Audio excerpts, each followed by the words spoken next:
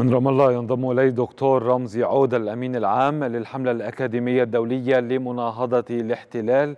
سيد رمزي تحياتي إليك من شاشة القاهرة الإخبارية. بداية أريد أن أعرف هل سيتخذ الجيش الإسرائيلي أو جيش الاحتلال إجراءات معينة أو ترتيبات خاصة لتشجيع الحريديم على الانخراط في الجيش والتجنيد حيث أن جميعنا نعرف أن الحريديم لديهم متطلبات خاصة منها عدم الاختلاط مع الإناث يوم السبت كما أيضا توفير طعام معين وخاص لهم وأيضا عدم فعل أي شيء في يوم السبت.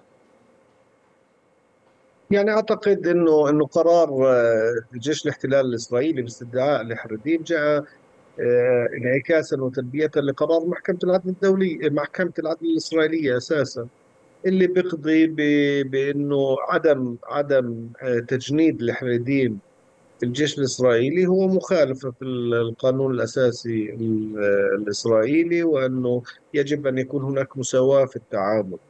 بالضرورة الجيش الإسرائيلي اتخذ خطوة في استدعاء ألف عنصر من عناصر الحريديم أو اليهود المتدينين ويتوقع إنه خلال يعني هذا الشهر أو مع بداية الشهر القادم يتم استدعاء حوالي 3500 يعني أيضا عنصر من عناصر الحريديم أود أن أقول الحريديم كيهود متدينين هم لديهم مصلحة اللي هم طلاب المدارس الدينية أساسا في إسرائيل.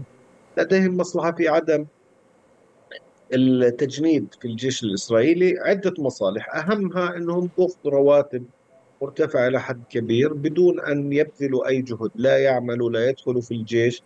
يعتقدون أن أنه أنه الله اصطفاهم من أجل الدعوة لدولة إسرائيل الدعوة لشعب إسرائيل من أن يس من أجل أن يستمر وبالتالي هم يفسرون أنه ويروجون أيضا أنه من ناحية دينية هم لهم وظيفة مهمة في المجتمع.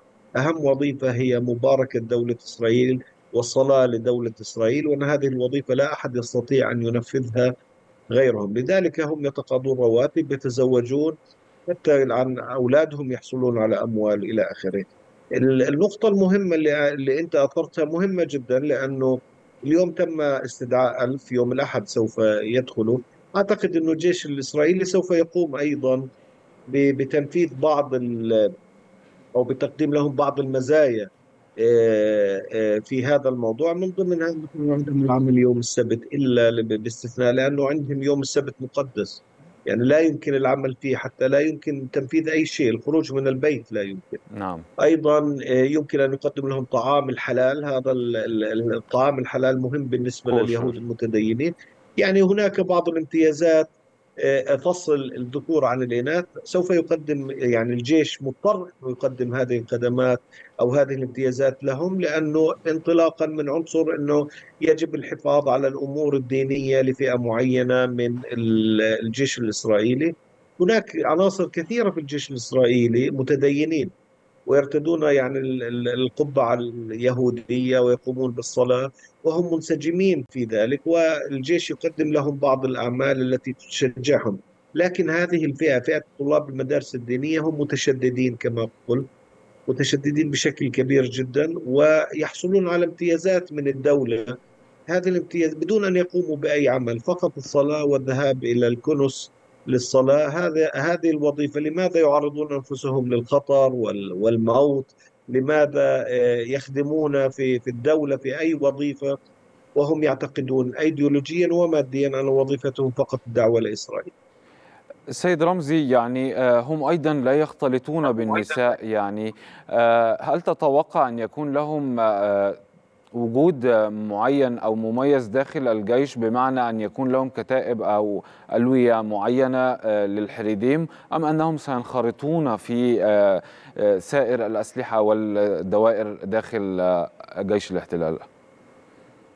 يعني ألوية لا أعتقد لأنه حتى الآن يعني ممكن يكون كتيبة معينة أو مجموعة من الكتائب لأنه عددهم محدود حتى يعني ما نتوقع تجنيد أكثر من 500 عنصر من عناصرهم هذا العام على الأقل هذا العام. هاي النقطة. النقطة الثانية في جزء كثير من ضباط جيش الاحتلال الإسرائيلي من الحريديم يعني بالعكس الحريديم خلال العشر سنوات الماضية قطعوا شوط كبير في في الوصول إلى مراكز حساسة في جيش الاحتلال الإسرائيلي، كان كانت هذه المراكز حكرا على الأشكناز أو اليهود الغربيين، اليوم اليهود الحرديم واصلين في مؤسسة الجيش وفي مؤسسة القضاء وفي المؤسسات المدنية.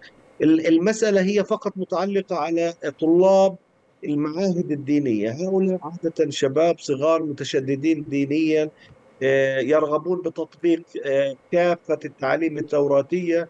آه، موضوع فصل الإناث عن الذكور في الجيش. أنا حتى الآن لم أرى أي يعني كتيبة من كل كتائب الجيش الإسرائيلي نشاهدها. يعني فيها فصل في هذا الموضوع. لكن يعني يمكن للجيش الاحتلال الإسرائيلي أن أن أن يقوم بعمل كتيبة صغيرة لهم لكن ليس في الوقت الحاضر لأنه هؤلاء سوف يعني يوزعون حسب حسب اختصاصاتهم حسب قدراتهم حسب يعني من ناحية عسكرية آه، هناك منهم بارعين في الهندسة في التكنولوجيا هناك يمكن أن يتم تجنيدهم في في في الضفة الغربية على الحواجز العسكرية يتقنون اللغة العربية إلى آخره. هناك من يستطيع أن أن أن يخدم في الوحدة 8200 اللي هي الوحدة التكنولوجية. بالتالي عمليا عمليا وعسكريا من الأفضل لجيش الاحتلال الإسرائيلي أن يفرزهم على آه، كتائب وألوية الجيش الاحتلال الاسرائيلي خاصة إنه هو بحاجة في الوقت الحاضر لذلك. يعني هو في آه، ثلاث جبهات عسكرية مباشرة اليوم في غزة وفي في في الجبهة الشمالية وفي الضفة الغربية وليس نوع من الرفاه في الوقت الحاضر بالنسبة للجيش الاحتلال أن يستدعي هؤلاء. يعني ليس من انطلاقا حتى من من قضية المساواة بين جميع المواطنين كما تحدث إسرائيل وكما تقول محكمة العدل الإسرائيلية. هو آه، رغبة وإرادة واحتياج من جيش الاحتلال الإسرائيلي أن يجند أكبر عدد من المواطنين بين قوسين الإسرائيليين في جيشه لأنه هو آه، يفتح جبهات مختلفة وقرب غزة العدوان على غزة أثبت أنه آه، من الصعب عليه أن يستطيع تجنيد كل جيش الاحتياط لديه وهو يحتاج أكثر وأكثر من عنصر من عناصر الجيش. ماذا بشأن كبار الحاخامات؟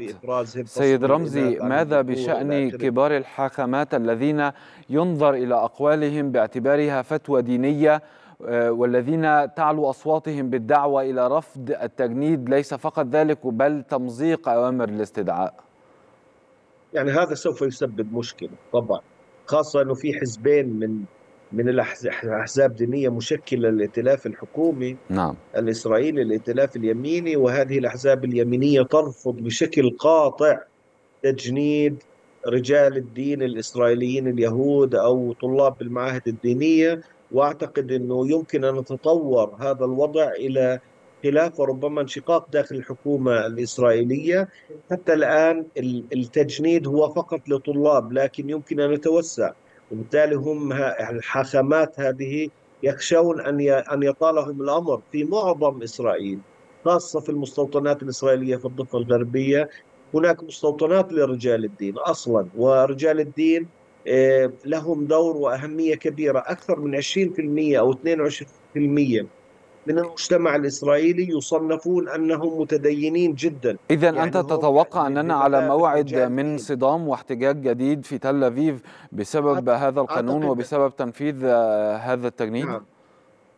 وربما أكثر ربما يحدث نوع من الانشقاق الحزبي لأن هذا الموضوع له تداعيات حزبية في حكومة الائتلاف إلا إذا قام نتنياهو كالمعتاد باعتبار أن هذا القرار قرار آه، إداري من محكمة العدل الدولية من محكمة العدل الإسرائيلية وأنه هناك فرصة للاستئناف واستدعاء هؤلاء يمكن أن يحدث ذلك. يعني هل يمكن أن التجنيد أن الإجباري الآن للحريديم يعني أو يشير إلى امتداد آه، أو إلى طول أمد الحرب في غزة؟ يعني أعتقد إنه هم مدركين تماما أن الحرب لن تنتهي في قطاع غزة خلال هذه الفترة القصيرة، هم يقولون ذلك، هم يقولون ان إحنا في حرب مفتوحة تستمر قد تستمر خمس سنوات، أيضا الجبهة الشمالية مقلقة جدا لهم.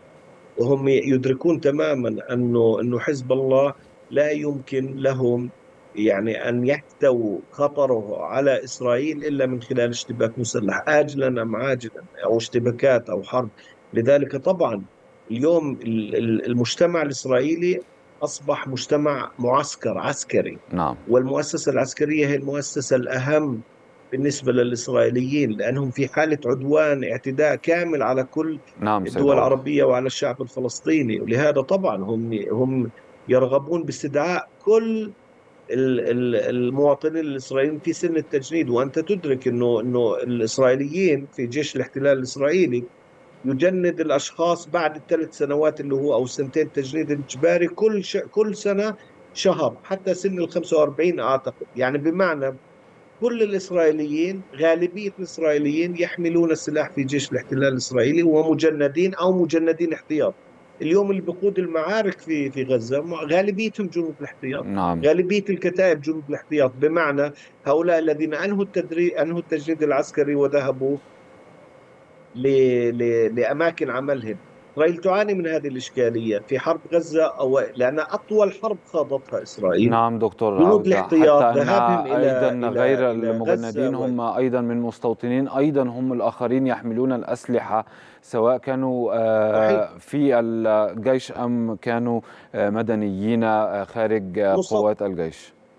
صحيح. المستوطنين قضية أخرى المستوطنين في القانون الدولي يصنفون ميليشيا مسلحة. نعم. وبالتالي لا تنطبق عليهم قواعد اتفاقية جنيف. نعم. هم قواعدهم خارج يعني هم خارج القانون الدولي نعم. لأن نظرا لضيق الوقت سيد رمزي يحملون يعني السلاح.